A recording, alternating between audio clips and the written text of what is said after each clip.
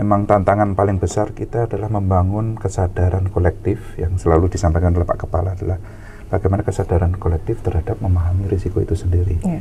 Di sisi lain yang selalu disampaikan oleh Bapak Kepala BNPB, kolaborasi pentahelik. Ya. Jadi mm -hmm. pentahelik itu melibatkan unsur-unsur bukan hanya pemerintah, ya. selain pemerintah pusat, pemerintah daerah, kemudian juga TNI Polri, di situ ada akademisi.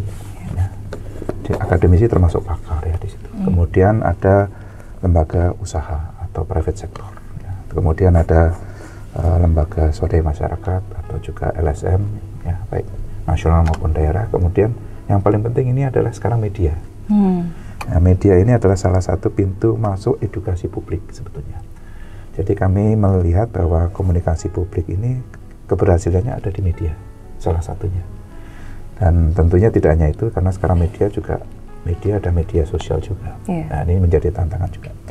Nah, untuk membangun kesadaran publik atau kesadaran kolektif terhadap bencana, kami mengawali dengan bagaimana masyarakat itu memahami risikonya. Protokol kesehatan, apakah ada protap-protap baru gitu yang di, yeah. yang dibuat oleh teman-teman BNPB ketika ada disasters yeah. gitu, ya. langsung yeah. protapnya harus menggunakan masker, misalnya yeah. harus ini harus yeah. ini, apakah yeah. ada yeah. sendiri SOP gitu? Jadi jelas ya, kalau protokol kesehatan yang pasti tiga utama itu ya yang selalu menggunakan masker, cuci tangan dan berjaga jarak itu tetap harus dilakukan. Dalam hal dalam hal bencana tentunya itu semua harus di, dilakukan. Jadi misalnya dalam hal pengungsian ya tendanya misalnya atau tempat pengungsian nggak boleh terlalu penuh kapasitasnya yeah, harus sesuai dengan protokol kesehatan. Tetap harus ada fasilitas cuci tangan, menggunakan masker dan itu menjadi wajib dan di sinilah kesempatan kita uh, tahu bahwa pencegahan itu nomor satu sebelum terjadi bencana. Jadi ketika uh, saat ini semua negara mengalami masa-masa disease, mitigasi pemerintah memang luar biasa harus mempunyai effort yang lebih keras. Nah ini yang menjadi masalah adalah ketika disease and disasters menjadi satu timeline gitu, satu paralel. Misalnya suddenly kita uh, dalam masih menyibukkan diri dengan COVID, tiba-tiba ada uh, misalnya apa namanya earthquake di satu daerah A hmm. gitu. Nah itu kira-kira apa yang harus dilakukan atau kita harus bisa melakukan apa sebelum itu gitu? Yeah. Apakah ada mapping uh, yeah. daerah rawan rawan rawan disasters gitu yeah. mungkin? Terima kasih. Jadi sebetulnya pas itu entry pointnya untuk saya bisa bercerita Inaris. Jadi uh, eh, BNPB memang sejak 2012 itu sudah ada kajian risiko untuk hampir semua 34 kabupaten eh, provinsi. provinsi. 34 maaf. Ya. Yeah. Jadi 34 provinsi kemudian uh, kita sudah mulai melakukan kajian risiko untuk dari 514 kabupaten kota mm -hmm. se-Indonesia itu ya mungkin separuh 50 persen kita sudah punya kajian risiko bencananya karena itu nantinya karena sejak adanya SPM ini menjadi kewajiban kabupaten kota mempunyai kajian risiko masing-masing. Nah, kajian risiko di situlah diterangkan sejauh mana risiko itu berada di sekitar kita hmm. dan di mana kita berada, di mana risiko kita, apa saja risiko kita, dan bagaimana mengatur strateginya supaya kita bisa menyelamatkan diri kita. Jadi uh, program Inaris ini di launching 2016, terus kemudian di upgrade terus dengan versi-versinya, sampai akhirnya kolaborasi ini bukan hanya milik BNPB, ini milik Indonesia karena sudah terintegrasi dengan kementerian lembaga lain, misalnya terkait dengan sekolah. Mm -hmm jadi ini sudah API itu API, data di Kemendikbud dengan data di BNPB sudah terintegrasi. Jadi misalnya berapa sekolah berada di kawasan risiko banjir, yeah. berapa sekolah berada di kawasan risiko gempa.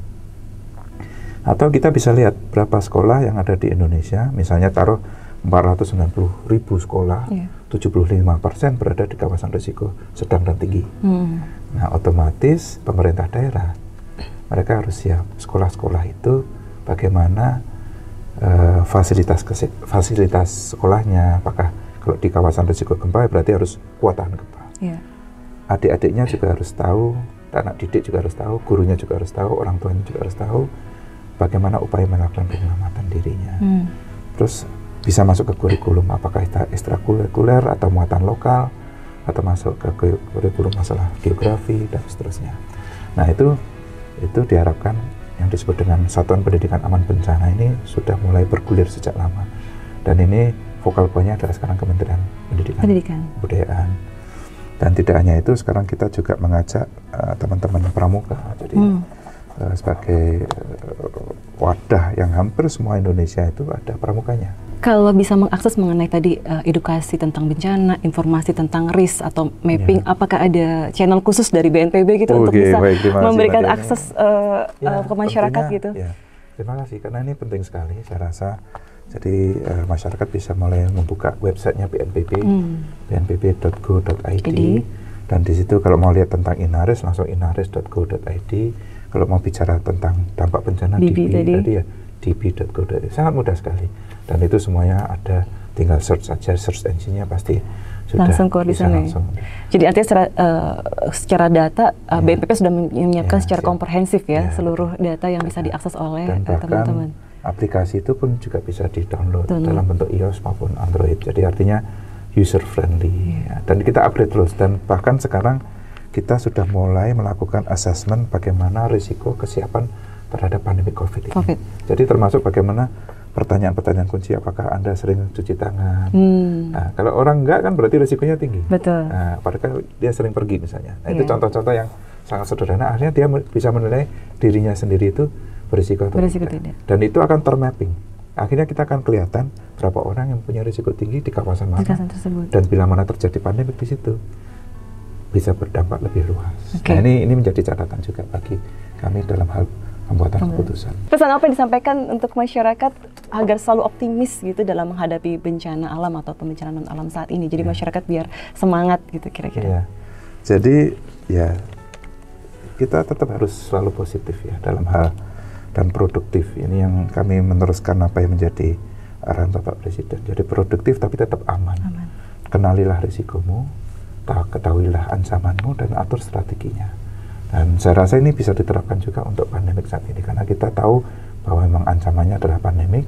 Berarti strategi kita ya juga harus menjadi protokol kesehatan dan tetaplah produktif, tapi tetap eh, menjaga protokol kesehatan, dan tetap Kesehatan. menerapkan apa yang harus di, dihimbau oleh pemerintah supaya itu menjadi hal yang menjadi perilaku adaptasi baru. Baru. Saya rasa itu uh, semangatnya supaya masyarakat tetap produktif, semangat, Tetap dan optimis. tetap optimis dan uh, tetap dengarkan apa yang menjadi informasi yang resmi, hindari hoax itu juga penting. Saya mohon itu bisa dibantu dari teman-teman media supaya tidak menimbulkan keresahan lagi di masyarakat.